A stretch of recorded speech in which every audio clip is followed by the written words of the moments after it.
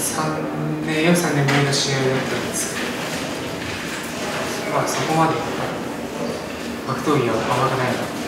とをまた改めて思いました。ありがとうございます。対戦相手の印象はいかがでしたか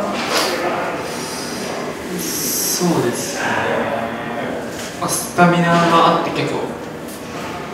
やりづらい選手でした。えっと、実際、えっと、久々にリングで動いてみて、えー、ご自分の動き、いかがですか、自分えーっとまあ思ったより楽しんでできて、まあ動きも相手の攻撃を見えてたかなと思ったんですけど、もらってやっぱ熱くなっちゃうところもあって、今とにかくスタミナが切れました。えー、もちろん準備はされてたと思うんですけど、そこは想定外に切れちゃったって感じですか。いや、想定内に使いました。この、えー、列車を終えて、この先の手応えみたいなものっていうのはで、そうですね、まあ、明確なものが見えたので、スタミナ強化っていうものが見えて、まあ、大きい怪我もないので、またちょっと、また僕にチャンスいただけたら、まあ、そのためにしっかり準備しますので、また頑張りたいなと思いました。ありがとうございます他にございますでしょうか？お願いします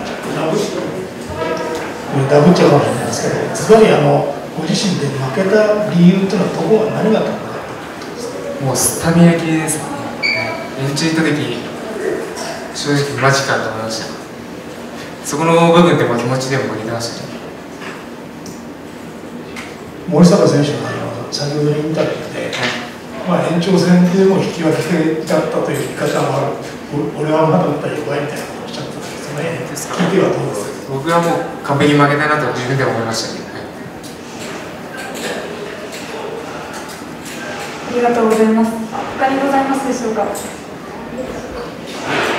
それでは最後にカメラに向かってファンの皆さんへ一言お願いします。えっとまあいろいろやっぱ期待を裏切ってしまってすいませんでした。また、強くなった姿を見せるって応援よろしくお願いします。